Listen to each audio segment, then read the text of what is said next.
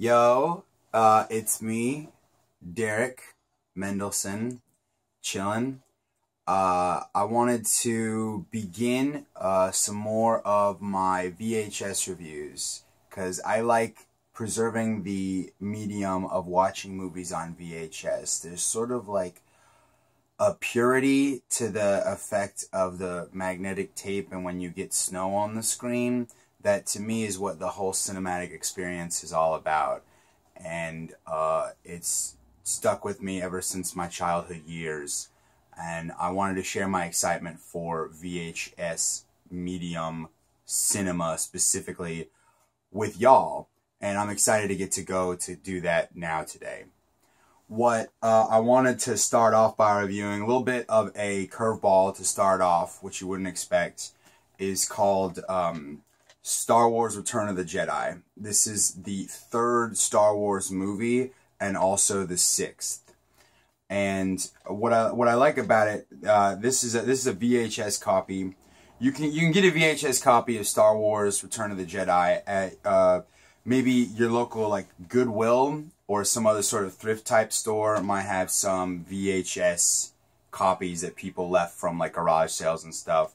You can usually get it for about two ninety nine uh, you might have to pay about as much as $3.99 depending on your local see your local goodwill for pricing and information.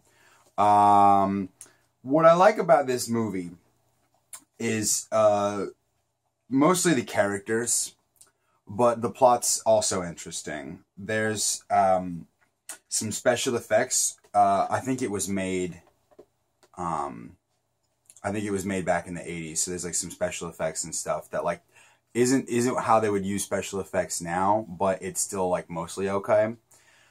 Um, in terms of what happens in the movie, uh, it's kind of like the final thing. It's kind of like the final movie in like the final chapter of the story. So it's kind of hard for me to just jump right in with the characters because you wouldn't know who they are because like you wouldn't know like where they were in the beginning films but um, basically like uh, spoilers. Spoilers from here on out. Here's the part where if you don't want to hear spoilers, go to the end. I'll meet you back at the end of this video.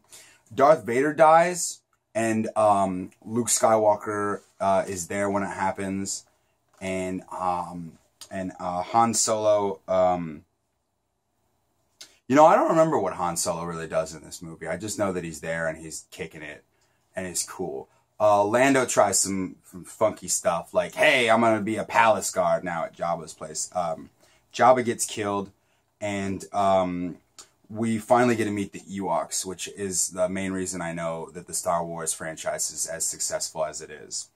What I like the most about this movie is what it says about hard work dedication, follow through, commitment, and putting your vision out there and seeing it through to the end. In the first movie of Star Wars, which is also the fourth movie, it's just called Star Wars. There was the Death Star. Darth Vader was building the Death Star, and it was a big battleship that also looked like a planet. And it was better than other planets because it could destroy other planets.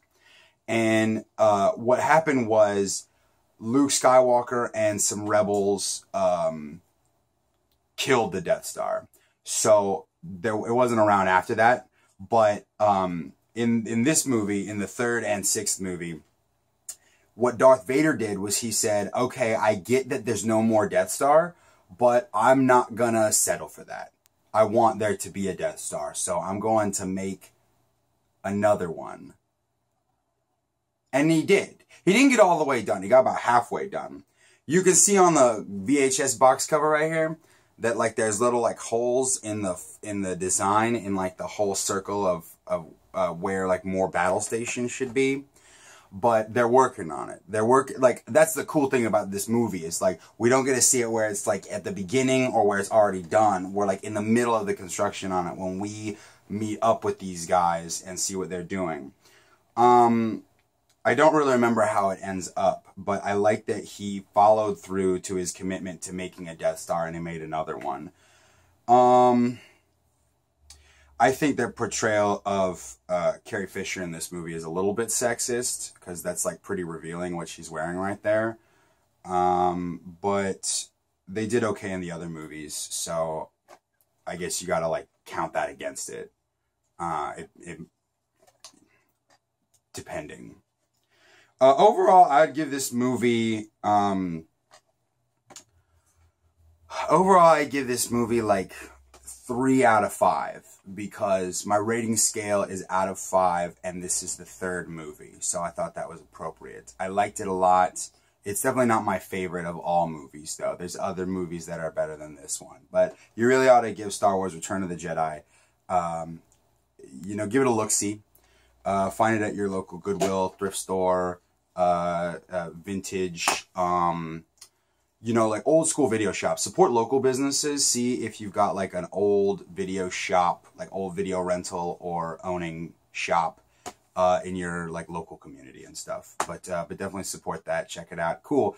Uh, thanks a lot, guys. Again, it's me, Derick. Uh, be sure to um, throw down in the comment box below. Hit like. Uh, do do subscribe to my channel for more videos. I'm gonna be doing a lot more of these. I'll definitely see you guys later. So I really appreciate it, and uh, you guys take care.